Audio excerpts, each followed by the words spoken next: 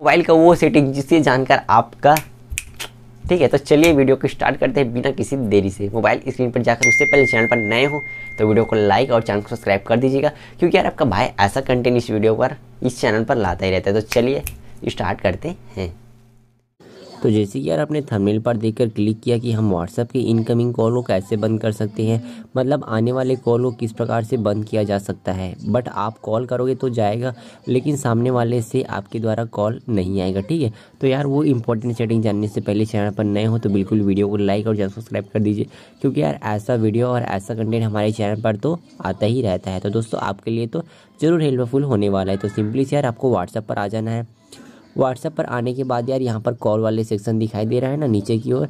आपकी इधर उधर कुछ भी हो सकता है, ठीक है? तो उस कंडीशन में यार आपको जो कॉल वाले सेक्शन पर आ जाना है, इधर कॉल वाले सेक्शन पर, ठीक है? यहाँ पर आने के बाद यार ये थ्री डॉट दिखाई दे रहा है ना, इस पर आपको क्लिक कर देना है। और हु कॉल मी करके क्लिक कर देना है।